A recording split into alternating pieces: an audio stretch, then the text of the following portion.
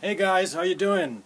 It's been a long time since I put up a video on YouTube, um, so I decided to, to show you what I'm currently working on. It's a complete copper-plated kit with patina, and it's 22 by 14, 13 by 9, 16 by 14, 14 by 5.5, and it will be available at Just Music in Hamburg, I guess. And uh, I just wanted to show you what I'm what I'm doing here. So First of all, um, I I put the copper uh, onto the bare shell. Oops. So this is the bare shell, and I copper plated it, and put some patina on it, green, black, uh, and blue patina, as as you can see here, and um, then buffed it. If I turn the shell, you see how terrible it looks.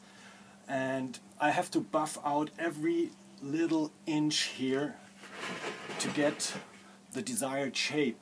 And what I'm doing here now is the the copper and the patina has a nice structure here.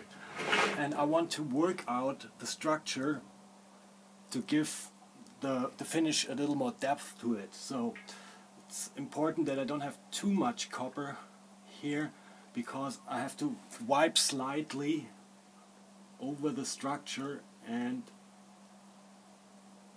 so that the copper will stay on, the wrinkles, you know. So I hope you can see it a bit. This is just another example how, how much handwork goes into the drum kits and, and, and the snare drums. The shells are completely hand welded and made so and the finishes are I mean, it's it's almost like making a sculpture for me to make those different drum kits.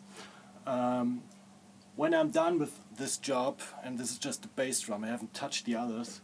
Um, I have to, after buffing, I have to put two or three layers of clear coat on it that uh, the patina won't uh, start uh, to seal the whole drum kit and make it make it a long-lasting one, hopefully yeah, um, I put the finished work on YouTube. I'm, I'm now sitting here for six days, and I guess the drum kit will take me another 10 days.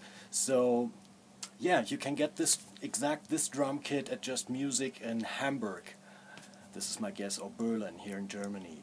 Yeah, I haven't decided what the price will be, but it will not be enough for the time I spend on it. Okay, thanks for watching guys. Bye bye.